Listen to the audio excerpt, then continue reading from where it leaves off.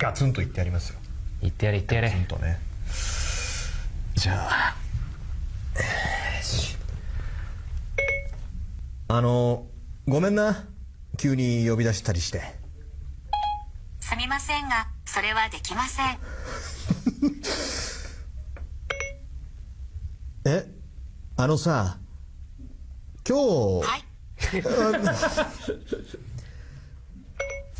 俺神谷博よろしくな。すみません。よくわかりません。俺声優なんだけど。理解できません。でもウェブで検索できますよ。すぐにウェブに頼るな。何の検索をお手伝いしましょう。か 俺と付き合って何年になる？ウェブで俺と付き合って何に関する情報が見つかりました。お前こいつと付き合って何年になるんだよ？そうかもしれませんね。はぐらかされたぞ。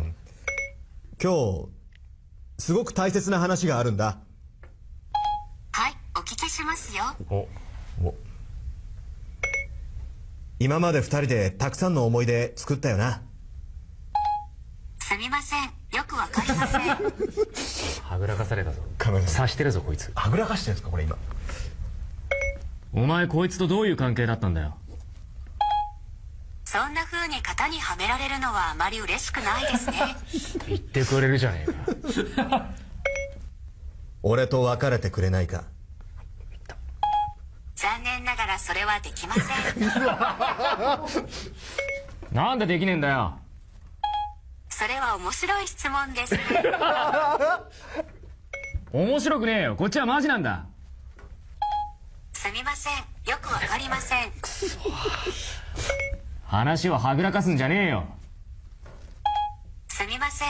よくわかりません。もうお前と一緒にはいられないんだ。あなたがそうおっしゃるならそうかもしれません。聞き分けがいいじゃないかすみませんよくわかりませんそうこいつ俺に対して冷てえな。分かった。じゃあ最後僕がガツンと最後言います。お言ってくれ。はい。携帯を解約したいんだ。どんなサービスをお探しですか？携帯電話会社または家電販売店。あ携帯会社。確認中です。はいこちらはいかがでしょう？ああおおいろんなショップが出てきたね。こういうショップはもう検索してくれてこれ解ね約できんのかなこれで。待ってでもねじゃあ爆破します。そんなことおっしゃらないでくださ聞いていたねちゃんそこは納得いかねえんだよ。取ったねやっぱりね。やっぱり別れてくれ。いすみません。よくわかりません。俺に対して冷てえな爆破だ爆破お役に立とうと頑張っているんですがすみません。塩らしい。塩らしいな。ごめんごめんってば。本当に気にしないでくださ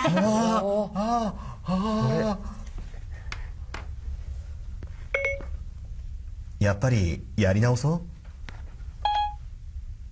やっぱりやり直そう こいつ何でもかんでもウェブに頼りやがって。エンドレスです。これは 小野君はい。別れられないな。ないな。やっぱりお前とは一生一緒だぜ。私ですか？そうだよ。喜んでいただけて何より